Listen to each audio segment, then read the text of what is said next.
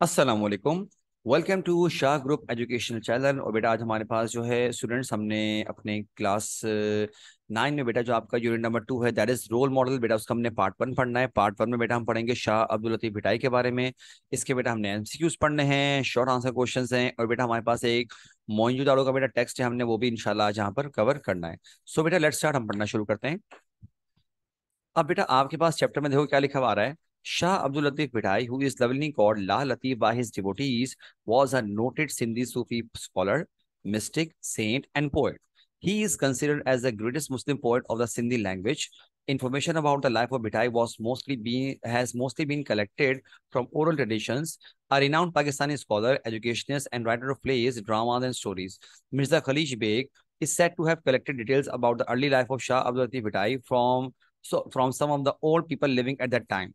These people had heard these facts from their fathers and and grandfathers, some of whom had seen Shah Latif in person and had even spoken to him. कह रहे हैं शाह अब्दुल लतीफ बिटाई जिनको प्यार से जो इनके इनको फॉलोवर्स हैं उनको बोलते हैं लाल लतीफ बोलते हैं कह रहे हैं सिंधी सोफी मतलब कि एक बुज़ुर्ग थे और कह रहे हैं कि शायर भी थे कह रहे हैं इनको ना सिंधी लैंग्वेज का ग्रेटेस्ट मुस्लिम पोइट माना जाता है और कह रहे हैं कि इनके बारे में जो इन्फॉर्मेशन वगैरह कलेक्ट हुई है, वो ओरल ट्रेडिशन मतलब कि मुँह जुबानी मतलब कि बस कहीं पर लिखा हुआ नहीं है, लेकिन लोगों के ज़रिए पता चली है। और बोल रही जो पाकिस्तान के एक बड़े मशहूर स्कॉलर एजुकेशनिस्ट वगैरह हैं, उनका नाम है मिर्ज़ा खलीश बेग। उन्होंने ना इनके बारे में जो शाह अब्दुल लतीफ़ के बारे में इंफॉर्मेशन वगैरह कलेक्ट करी है उन लोगों से जो उस जगह पर रहते हैं जहाँ पर शाह अब्दुल लतीफ़ रहा करते थे उसके सराउंडिंग में कह रहे हैं कि ये जो लोग थे ना दरअसल इनके जो आबा अजदाद थे ये वो लोग थे जो बाकायदा शाह अब्दुल लतीफ़ भिटाई को पर्सनली जानते थे उनसे बात भी करी हुई थी ठीक आगे लिखा हुआ है As a Sufi poet, Latif's Urs is held at his shrine every year on 14th Safar, the second month of the Muslim calendar. Thousands of people gather and listen to the same songs sung on the tamburo.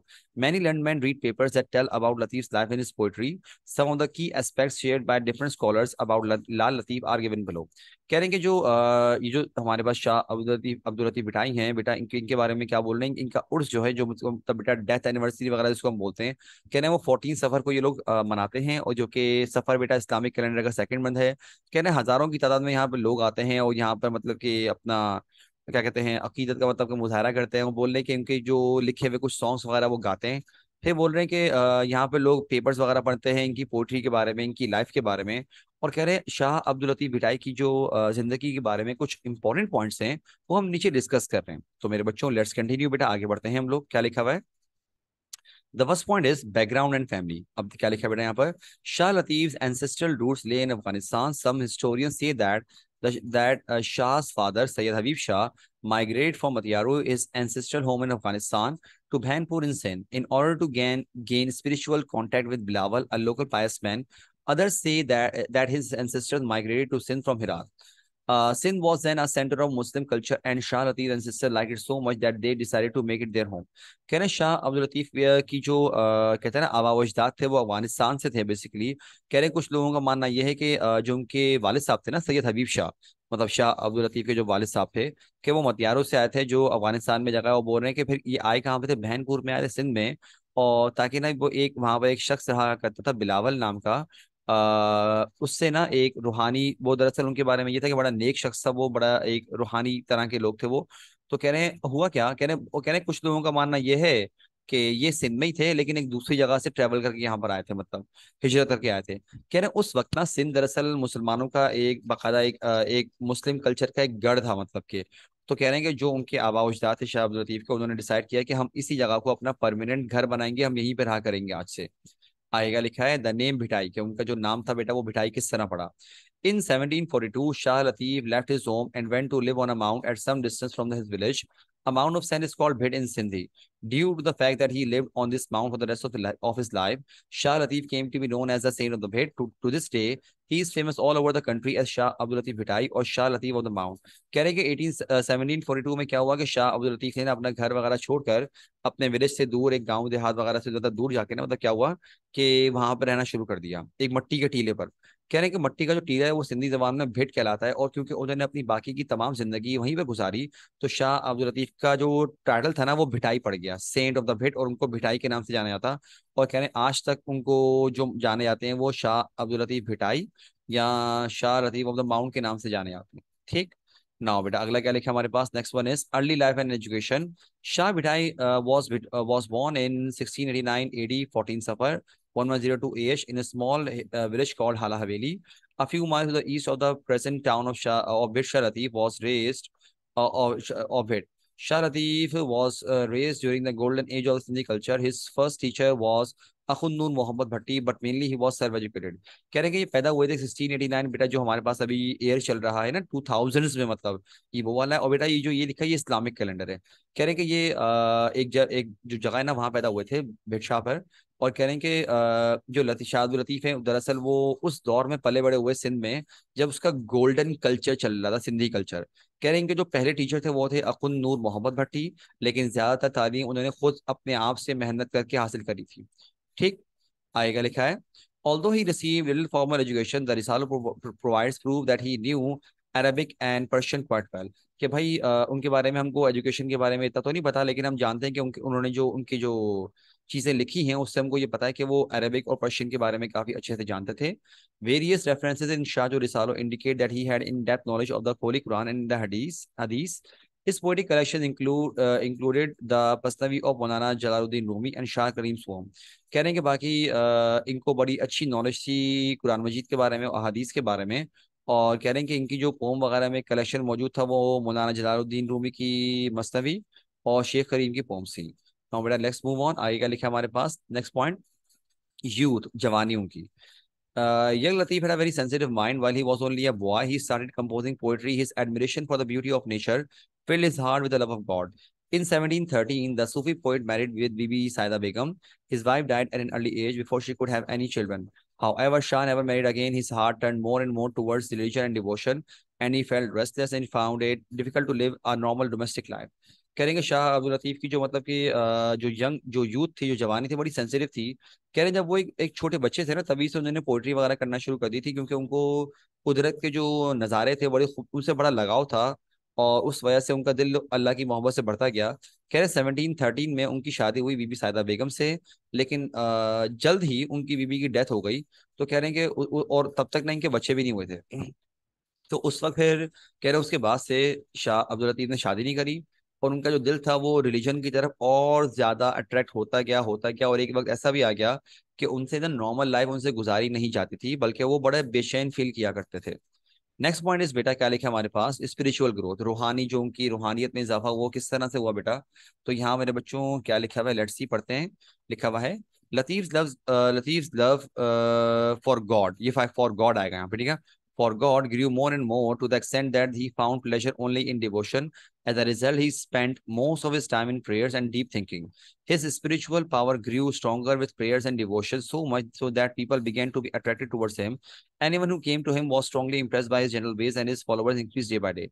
कह रहे हैं क्योंकि हुआ क्या कि वो एक हद तक बेटा जो है इबादत वगैरह किया करते थे काफी मतलब कंटिन्यू और कह रहे हुआ क्या कि उनका ज्यादातर टाइम फिर एक सोच में और अल्लाह पाक की, अल्लाह बारे के बारे में सोचना मतलब ये ख्याल करना, उनको याद रखना और इबादत करना। कह रहे, हुआ क्या इसकी वजह से उनकी रूहानियत बढ़ती गई, रूहानी ताकत बढ़ती गई? और कह रहे हैं कि लोग इनसे अट्रैक्ट होना शुरू हुए, उनकी पॉजिटिविटी से और जो कोई इनसे मिलने के लिए आता, बड़ा इंप्रेस होकर जाता और कह रहे, हुआ क्या इनके फॉलोअर्स की तादाद ना बढ़ती गई? फिर क्या लिखा हुआ है? Close to the mount on which Lal Latif came to be live is a natural lake His poetic nature loved the calm atmosphere. He would spend much of his time sitting on the lake of, the, of this lake. As he sat there, he prayed to God and sometimes composed verses in his praise. कह रहे कि जहाँ पर वो जो आ, मट्टी का टीला था ना वहीं पे मतलब कि शाह अब्दुल लतीफ की एक नेचुरल लेक थी जहाँ पे वो रहा करते थे और मतलब जहाँ पे वो एक उसकी खूबसूरती को एंजॉय करने के लिए वहाँ जाते वहाँ बैठ के हमदो सना करते अल्लाह पाक की शायरी किया करते थे और कह रहे कि जब वो यहाँ वही वाली थी जब वहाँ बैठते तो अल्लाह की शान शौकत में उनकी तारीफ़ बयान करते और क्या कहते थे? मतलब उनकी तारीफ़ बयान करने के साथ साथ शेर व शायरी हमदो सना भी क्या करते थे। ठीक? नाउ नेक्स्ट वन इज़ बेटा डेथ एंड रिमेम्बरेंस तो क्या लिखा हुआ है? Lal Latif Jair in seventeen fifty two on the mount where he had lived he was buried on the same mount it is said that one day he order the musicians to play music they played continuously for three days when they stop playing they found the poet dead A famous king of Sultan Ghulam Shah Kolodo was so devoted to him that he built a grand mausoleum over his grave. The doubly white dome of the shrine represents the purity and dignity of, of Latif.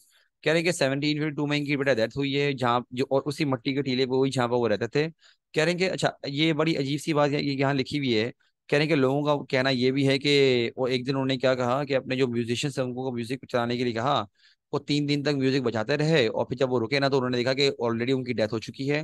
अब बेटा ये सुनी सुनाई बात है ठीक है और बोल रहे कि वहाँ पर उस दौर का जो एक बादशाह था ना, सिंध का, गुलाम शाह कलोड़ो वो भी वो भी इनके फॉलोअर्स में देखता था तो कह रहे हैं कि उसने उसने क्या किया, बकायदा इनका एक मज़ार वगैरह बनाया और कह रहे हैं कि उनके मज़ार का जो वाइट एक गुंबद है ना, वो दरअसल इनकी प्योरिटी वगैरह को शो करता है, ठीक आगे लिखा है His devotees collected his poetry and his collection is called the Risala of Shah Abdul Latif. Every year the devotees celebrate his urs which commences on 15th Safar and lasts for three days. कह रहे हैं कि उनका collection वगैरह जमा किया गया उनकी पोइट्री का और कह रहे हैं उसको बोलते हैं रिसालो ऑफ़ शाह अब्दुल लतीफ़ बोलते हैं कह रहे हैं हर साल जो इनके मानने वाले हैं डिवोटीज वगैरह उनका उर्स वगैरह बनाते हैं जो कि चौदह सफ़र को होता है और तीन दिन तक चलता है now the next one is बेटा क्या लिखा हुआ है Shah Latif poetry Sharati was sensitive, gentle, and kind soul. He was uh, Sufi in the true sense of the word. The word Latif literally means fine, delicate, tender, elegant, and light. This meaning is truly reflected in both his poetry and his personality. Moreover, who was a poet of the people, so he wrote in the language of the common man. In his poems, he writes mainly about Sindh and its neighboring regions. However, he also mentions the distant cities such as Istanbul and Samarkand and also talks about Sindhi, Sindhi sailors, their navigation techniques and their voyages uh, as far as the Malabar coast. Sri Lanka and the island of Java here is the translation of the one such verse. कहने शाह अब्दुल लतीफ़ बड़े नरम दिल के बहुत नेक इंसान थे और कह रहे हैं कि वो एक सूफी भी थे मतलब के और कह रहे हैं उन लतीफ़ का जो असल में मतलब होता है वो ये होता है फाइन होता है डेलिकेट टेंडर एलिगेंट लाइट कह रहे हैं ये तमाम मतलब लतीफ़ के हैं। लेकिन बोल रहे हैं कि ये जो इन, इनके ऊपर ना इनकी पर्सनैलिटी इनकी शख्सियत के मुताबिक ये चीज़ इनका नाम सूट भी करता था इनके ऊपर। और बोल रहे हैं कि जो, ये जो, ये पोइट्री करते थे ना ये बड़े कॉमन किया करते मतलब जो आसान अल्फाज से उनसे पोइट्री वगैरह किया करते थे, जो लोगों को आराम से समझ में आया करती थी। कह रहे हैं, अक्सर तो बेशतर सिंध के बारे में लिखते थे, लेकिन ये सिंध के सराउंडिंग में जो जो जगहें थी ना, उनके बारे में भी पोइट्री वगैरह किया करते थे। और फिर बोल रहे हैं जैसे कि उन्होंने संबूल वगैरह के बारे में लिखा, समरकंद के बारे में लिखा सिंधी जो लोग थे, जो मतलब के समझ जो सफ़र में जाया करते थे, उनके बारे में लिखा। ठीक, फिर लिखा हुआ है कि ये जो है मतलब कि उनकी एक पोइट्री का बेटा जो एक ट्रांसलेशन है, कोई इतना खास नहीं है, क्योंकि ये बस उनकी पोइट्री का कलेक्शन है। मतलब वो बोल रहे ये बादलों के बारे में लिखे कि बादल यहाँ से आए, वहाँ से आए संबुल गए, यहाँ गए। और फिर आखिर में उन्होंने कहा कहा कि सिंध के लिए दुआ करिए अल्लाह पाक से कि अल्लाह पाक जो मतलब कि सिंध है, उसको हमेशा एक खुशी का गहरा बना दे, उसको मतलब कि सब बहुत कुछ अता कर, इसको दौलत वगैरह। और कह रहे हैं पूरी दुनिया को बहुत कुछ अदा कर। ठीक? अब बेटा इसका हमारे पास आखिरी पैराग्राफ चैप्टर का लिखा हुआ है? Corrected poems have been compiled in Shah Risalo, which has been translated into English, Urdu, and other languages. His spiritual and mystic poetry carries a message of love, which makes it universal and acceptable to the entire human race. Shah Abdul Latif Bhitai is, is and always will be remembered for the, his great poetry with love and reverence. कह रहे हैं कि इनकी जो poetry का collection है वो कहलाता है शाहजो रिसालो और कह रहे हैं इनको अलग अलग जबानों में ट्रांसलेट किया गया है इंग्लिश उर्दू और बाकी जबानों में भी फिर कह रहे हैं कि जो उनकी स्पिरिचुअल और जो मिस्टिक पोइट्री थी ना, उसमें मैसेज है लव का मतलब प्यार मोहब्बत का। कह रहे हैं इसीलिए ये तमाम लोगों पे अप्लीकेबल है। कह रहे हैं शाह अब्दुल लतीफ़, ये इनको बड़े अच्छे से याद किया जाता है। उनकी पोइट्री की वजह से, उनके सबक की वजह से हम उनको बड़े अच्छे लफ्जों में याद करते हैं, ठीक है? नौ बेटा लेट्स मूव ऑन अब देखते हैं हमारे पास अगला क्या आ रहा है। नेक्स्ट वन सेक्शन ए बेटा, क्या बनता है हमारे पास एमसीक्यूज तो बेटा, आपने करने क्या जरा देखो। Shah spend most of his time in dash अब मेरे बच्चों बताओ बेटा क्या लिखा हमने यहाँ पर? इसका क्या आंसर आएगा? करेक्ट बेटा the correct answer is prayer and deep thinking बेटा ये इसका आंसर है। नाउ नेक्स्ट वन इज़ बेटा कि in Hindi language amount is called of sand is called dash के अमाउंट ऑफ़ सैंड को क्या बोलते हैं बेटा? सो so, शाबाश बेटा द करेक्ट आंसर इज़ भेड़। Number three is in living romantic life Shah Abdul Latif fail dash कह रहे कि एक बिल्कुल आम सी, सादा ज़िंदगी गुजारने वाले जो होते हैं ना, जो आम लोग जो उठते हैं, काम किया, वापसी आए, घर आगा सो गए, कह रहे इस तरह की लाइफ गुजारने से वो क्या फील करते थे? वो फील करते थे रेस्टलेस मतलब उनको सुकून नहीं था इस लाइफ में इस तरह गुजारने से। नेक्स्ट वन इज़ बेटा Shah Abdul Latif was born in dash Shah Abdul Latif पैदा कब हुए मेरे बच्चों? तो बेटा गैस करो, इन चार में से कौन सा ऑप्शन ठीक है? And the correct answer is बच्चों sixteen eighty nine eighty good job बेटा फॉर दो जिन्होंने सही से पिक किया। अच्छा भाई आगे क्या लिखा है मेरे बच्चों हमारे पास? नेक्स्ट वन क्या आ रहा है?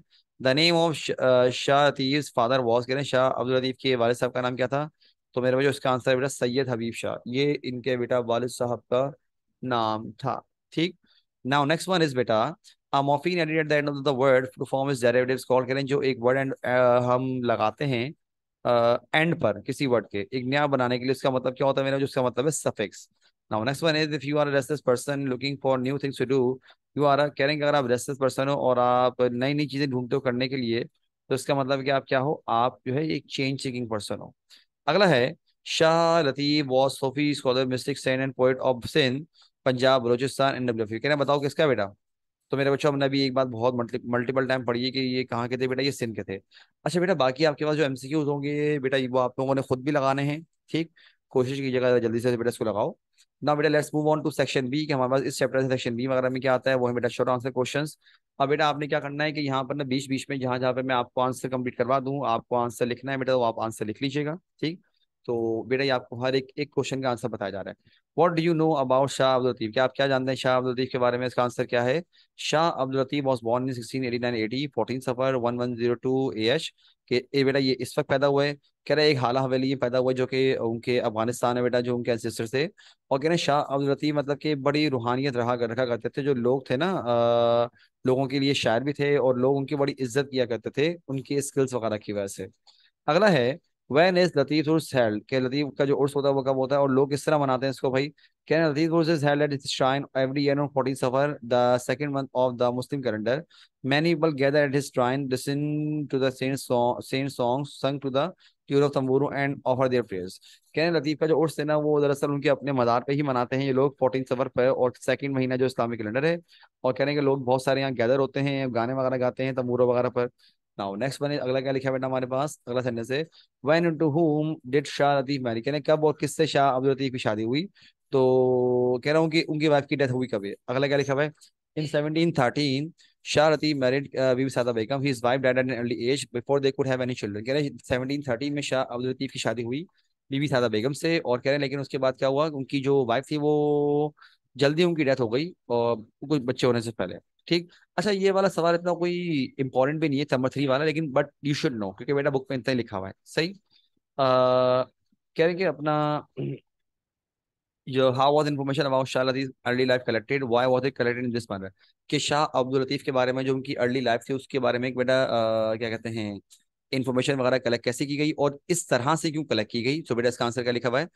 Uh, information about Shah Lati's early life was collected from oral traditions. People collected information in this manner because these facts were heard from their fathers and grandfathers, some of whom had be seen Shah Latif in person and had even spoken to him.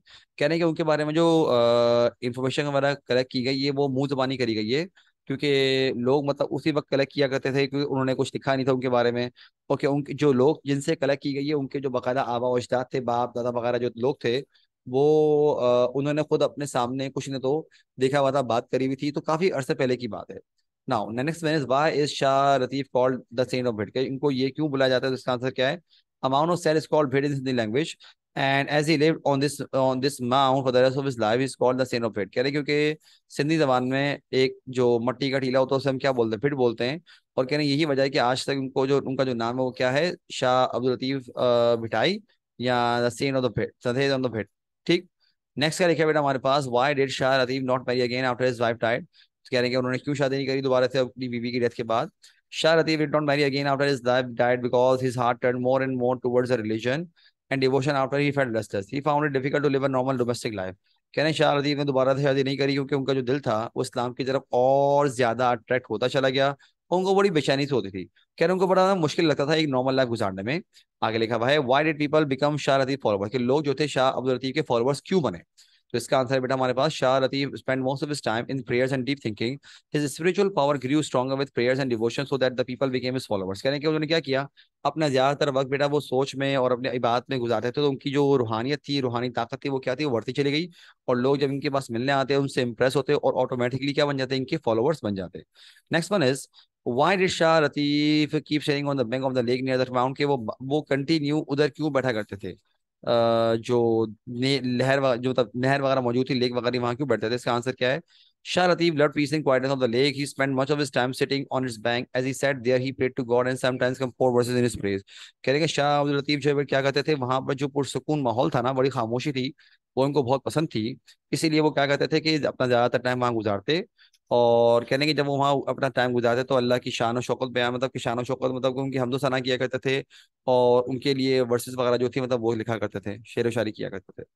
फिर लिखा बेटा हमारे पास what is the message of Shah Latif to us कि शाह लतीफ का हमारे लिए message क्या है? इसका आंसर है Latif message is the message of love he believe in the brotherhood and equality of man and pleasing God by good deeds according to him this is the goal of life कह रहे हैं शाह लतीफ का जो message है, वो क्या है बेटा? वो प्यार का मैसेज है और वो लोगों में भाईचारा और इक्वालिटी वगैरह में मानते थे। और कहने का यही उनके मुताबिक ये हमारी लाइफ का मकसद है। अगला है write a few sentences about the शान ऑफ़ शाह लतीफ क्या लिखा हुआ है? The famous king of Saint Shah Ghulam Shah Koloro was so devoted to Shah Latif that he built a grand mausoleum over his grave. The lovely white dome of the of the shrine represents the purity and dignity of Latif. कह रहे हैं कि जो उस वक्त का एक जब इनकी डेथ हुई थी शाह अब्दुल लतीफ की तो उस वक्त सिंध का बादशाह था गुलाम शाह कलोड़ो वो इनका बड़ा अच्छा मानने वाला था। वो बोल रहे कि, उसने क्या किया? उसने इनके लिए अपना पूरा एक एक मजार के दौर बनाया। कह रहे हैं कि जो उनके मजार की जो व्हाइट कलर है ना दरअसल वो रिप्रेजेंट करता है इनकी प्योरिटी को इनकी डिग्निटी को रिप्रेजेंट करता है ना बेटा अगला हमारे पास क्या है what does Shah Latif poetry and what tell about knowledge and skills कि इनकी जो पोइट्री है हमारे इनकी नॉलेज स्किल्स के बारे में क्या बताती है Shah Latif poetry tells us about his knowledge and skills in this way as his poetry provides proof that he knew Arabic and Persian quite well. He also had an in-depth knowledge of the Quran and Hadith. Moreover, he wrote poetry in the simple language so that everyone can understand it. कह रहे हैं कि इनका जो जो poetry वगैरह थी ना, वो हमें इनके स्किल्स के बारे में इस तरह बताते हैं, क्योंकि वो पढ़ने से हमको आइडिया होता है कि इनकी अरबिक और पर्शियन में काफ़ी अच्छी थी और उनको काफ़ी काफ़ी गहरी नॉलेज थी, कुरान की और अहदीस की। कह रहे हैं कि आसान उसके साथ साथ कह रहे हैं कि उनकी जो पोइट्री थी ना वो आसान लफ्जों में लिखा करते थे ताकि हर कोई इसको समझ सके। नेक्स्ट है व्हाट इज़ अदीफ की message in the verses acceptable और इवन के शाह लतीफ का मैसेज क्या है जो कि हर किसी जो हर कोई उसको मानने से एग्री करता है तो क्या लिखा हुआ है? शाह लतीफ की message in this verses is acceptable to everyone because it is the same message which has been conveyed to us through the our prophets and holy books. The, this message is actually what we have learned through our through religion कह रहे हैं जो message है बेटा वो क्या है? कि एक्सेप्ट, हर कह रहे हैं कि वो दरअसल मैसेज डिपेंड ही करता है कि हमारी आसमानी किताबें जो खास तौर पर कुरान मजीद वगैरह उस पर डिपेंड करता है। और कह रहे हैं कि यही वजह है कि हम लोग इनकी बातों को एक्सेप्ट कर भी लेते हैं। बेटा with this we are done with the questions of chapter number two ठीक? अब बेटा, हमने इसके अंदर एक और टेक्स्ट आया हुआ था, लेकिन मोहिनी डालूँगा था। मैं आपको बेटा ये वाला डायरेक्ट रीड करवाऊँगा क्योंकि ये एग्जैक्ट चैप्टर नहीं है, ठीक है ना? राइटिंग वगैरह में मेंशन हुआ हुआ है, लेकिन मैं आपको डायरेक्ट बता रहा हूँ बेटा। देखो बेटा, पहले पैराग्राफ में क्या लिखा हुआ है कि भाई हमारे पास कह रहे हैं कि ये काफ़ी पुरानी जगह है माउंट द डेड जैसे कि लिखा हुआ है ठीक है ना? और कहने का ये ना सिंध में था। ये सिंध में जगह है ट्वेंटी सेवन किलोमीटर लाड़काना से इंडस रिवर के राइट साइड पर। कह रहे हैं कि ये दुनिया की कदीम तरीन सिविलाइजेशन जो हमारे पास मौजूद है, उनमें से एक है। और कह रहे हैं कि ये twenty six thousand B C तकरीबन तब बनाया गया था, जो चीज़ें वगैरह मिली हैं उसके मुताबिक। और कह रहे हैं ये बहुत बड़ी सेटलमेंट यहाँ मौजूद थी। और कह रहे हैं कि जो यहाँ पे सिंध कह रहे हैं तकरीबन ये तीन थ्री थाउज़ेंड बी सी मतलब कि हज़रत ईसा सलाम से भी तीन हज़ार साल पहले की बात कर रहे हैं। और कह रहे हैं कि ये इतनी बड़ी, ये इतनी बड़ी जगह सिविलाइजेशन वगैरह की जो अब पाकिस्तान है और नॉर्थ इंडिया वगैरह में भी पाई जाती थी। आएगा लिखा है? कह रहे हमको नहीं पता कि मोहनजोदड़ो का क्या हुआ, कैसे हुआ लेकिन कह रहे हैं कि 1922 में जब यहाँ पर रहने वाले लोग थे ना वहाँ पर एक शख्स था, चूँकि बेटा ज़ाहिर सी बात है अंग्रेज़ों की यहाँ हुकूमत थी सॉरी जॉन मार्शल जिसका काम ही ये था कि वो कदीम चीज़ों की मतलब देखभाल वगैरह किया करता था, उस उनके पास लेकर आए। और जब उसने देखा ना तो उसने एक नज़र में आइडिया लगा लिया कि ये जो है आ, कोई न्यू चीज़ नहीं है बहुत पुरानी है। तो उसको एक एक भनक पड़ी कि यार आ, शायद यहाँ पे कोई पूरा एक ना एक क्या कहते हैं पूरा कुछ ना कुछ दफन है। उसने लोगों को बोला कि भाई यहाँ पे ना खुदाई करना शुरू करो। तो उन्होंने लोगों ने क्या किया दे स्टार्टेड डिगिंग और फिर उसके बाद बेटा क्या हुआ कि उनको पूरा का पूरा एक शहर दरियाफ्त हो गया पुराना कदीम शहर। फिर लिखा हुआ भाई कि लोग खोदते गए और चीज़ें आती गई आती गई ऊपर आती गई। यहाँ तक कि पूरे पूरे घर के स्ट्रक्चर आ गए रोड बने हुए आ गए प्रॉपरली तौर पे। और कह रहे हैं कि बकायदा उनको कह रहे हैं लोग देखते गए हैरत भी होती गई कि उनको लगा कि यार हमको तो लगा था ये मट्टी बस, लेकिन हमें कैसे पता था कि मट्टी के अंदर पूरा का पूरा एक शहर बना मतलब इस तरह से वो सारे के सारे एक्साइटेड थे। और कह रहे हैं कि वहाँ पर मकानात जो है ना पक्के मकानात बने हुए थे, जो बेग ब्रिक्स नहीं होती, उनके बने हुए थे। कह रहे हैं बाथरूम भी थे और सेवन क्वार्टर जैसे कि कोई अमीर लोगों के घर है तो सेवन क्वार्टर अलग से बनाया हुआ है। कह रहे हैं ड्रेन्स वगैरह मौजूद थे। और कह रहे हैं कि बकायदा एक रोड वगैरह था जो कि बकायदा एक जिस तरह से जा रहा था ना तो वो वो उन बिल्डिंग्स का स्ट्रक्चर देख देख के आइडिया लगा रहे थे कि ये दुकान है, ये घर है, क्या इस तरह से, ठीक? फिर बोल रहे हैं कि यहाँ की जो लोग थे यकीन वो बड़े बेहतरीन ताजिर वगैरह हुआ करते होंगे, क्योंकि इनके लोकेशन से बहुत करीब दरिया सिंध था। कह रहे समंदर बड़ा करीब था इनके, ज़ाहिर सी बात है। फिर बोल रहे हैं कि जो कंट्री है ना, वो यकीन यहाँ की बड़ी जरखेज होगी, क्योंकि यहाँ पर कॉटन वगैरह उगा करती थी कॉटन ग्रू थे और कह रहे हैं फार्मर जो यहाँ के थे, वो अपने साथ भेड़ बकरी वगैरह रखा करते थे कटल वगैरह के तौर पे। और कह रहे हैं क्राफ्ट्समैन वो थे, वो जो कि क्या करते थे, गोल्ड से सोना, चांदी और आइवरी। आइवरी बोलते हैं बेटा हाथी के दांत। जो हाथी के दांत वो भाड़ने के लिए होते हैं नोकीले जो होते हैं जिससे वो लड़ता है, ठीक है? तो कह रहे हैं कि वो चीज़ें मौजूद हैं। फिर कह रहे हैं मट्टी के खिलौने वगैरह भी मौजूद थे यहाँ पर। फिर क्या लिखा बेटा हमारे पास आगे आगे। कि कह रहे हैं काफ़ी अर्से तक इन लोगों ने काफ़ी अच्छी लाइफ गुजारी और काफ़ी अमीर भी थे ये लोग। और कह रहे हैं कि घूमने फिरने भी जाया करते थे। लेकिन कह रहे हमको आज तक ये नहीं पता कि इनके साथ हुआ क्या है। कह रहे हैं, क्या पता ये किसी जलजले की वजह से तबाह हुए हैं? क्या इन पर कोई हमला हुआ किसी ने? जो कह रहे हैं, हमें हिस्ट्री में पता नहीं है कि ये लोग कौन थे. एंड बेटा with this we are done with this lecture and मेरे बच्चों आई डू होप कि आप लोगों को प्रॉपरली समझ में आ चुका होगा। बेटा, कोई भी क्वेश्चन हो मोस्ट वेलकम बट आज के लिए इतना ही। अपना बहुत ख्याल रखिएगा बेटा। वालेकुम